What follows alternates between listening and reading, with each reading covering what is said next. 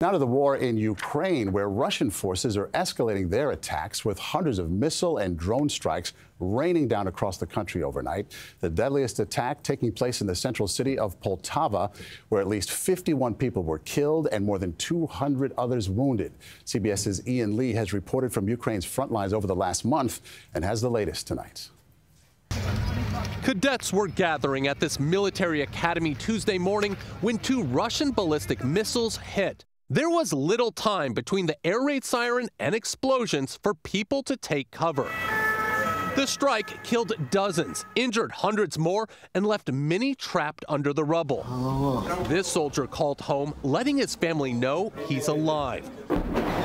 Russia has stepped up its bombardment of Ukraine in recent days. More than 300 strikes in the last 24 hours alone.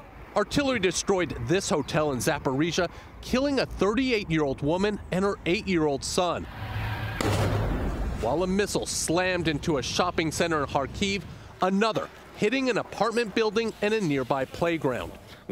A frustrated Ukrainian president demanded the world send help. Air defense systems and missiles are needed in Ukraine, not in a warehouse somewhere, he said. Long range strikes that can defend against Russian terror are needed now.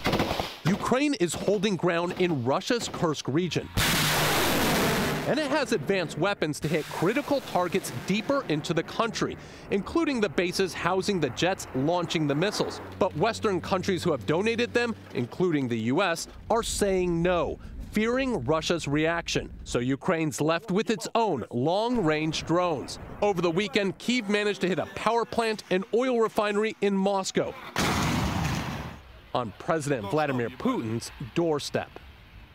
And tonight, National Security Council spokesman John Kirby said the attack in Poltava was another horrific reminder of Putin's brutality, adding the U.S. will send more military aid to Ukraine in the coming weeks. Maurice? Ian Lee in London tonight. Thank you.